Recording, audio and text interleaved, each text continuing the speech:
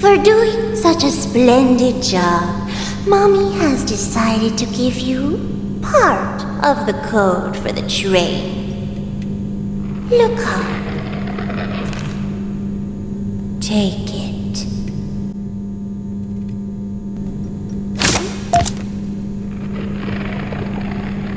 Mommy was hoping the game could last a little longer. It's okay though. Mommy knows other ways to play with you.